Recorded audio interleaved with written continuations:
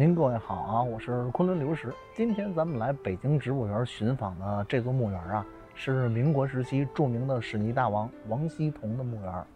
王锡同是民国时期著名的实业家，赫赫有名的水泥大王。他的原籍啊是河南卫辉。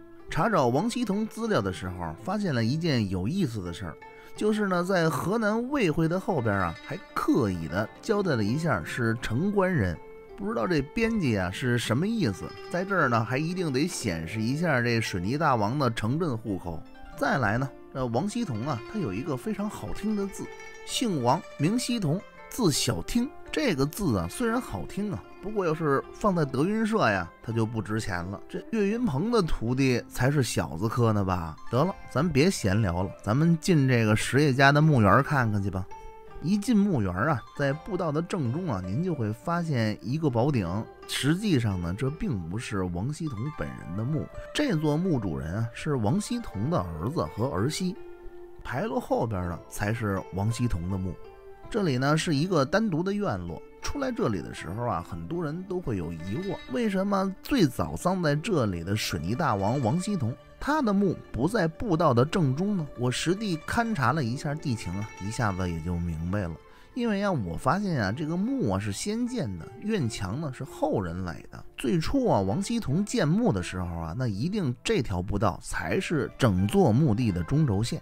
穿过元寝门的牌楼，您就能看到王锡同夫妇的合葬墓。王锡同墓最为有特点的，就得数这两块木阶了。通常啊，我们认为竖立的。为石碑，横立的为石阶。这两块木阶上刊刻的是两段墓志铭，一块呢是王希同本人，另一块上边刻的是王希同的发妻赵氏夫人的墓志铭。木阶上不但碑文工整清秀，浅浮雕的装饰石刻也是非常的精美。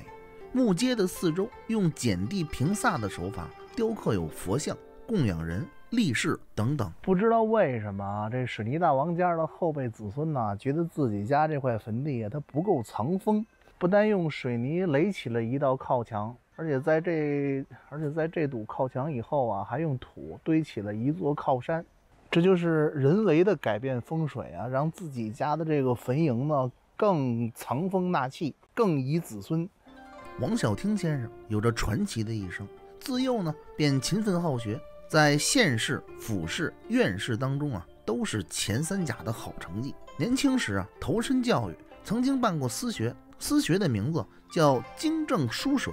王锡同和袁世凯啊，都是河南人，在前清的时候啊，两人惺惺相惜。王锡同呢，曾经为袁世凯做过幕僚，后来的袁相成啊，算是混整了，成了民国的大总统。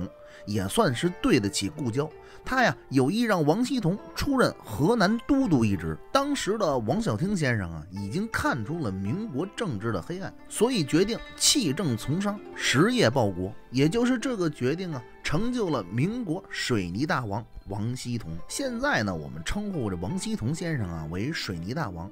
实际上，在民国时期啊，大家都称呼他为杨辉大王。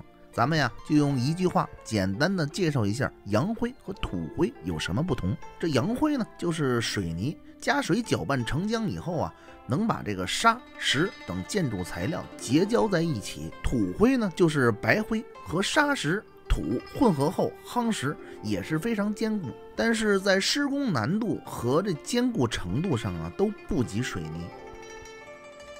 我是走到哪儿，故事就给您讲到哪儿的昆仑流石。喜欢我的频道呢，还请您关注、点赞并转发。您的支持是我能持续更新、为您讲故事的唯一动力。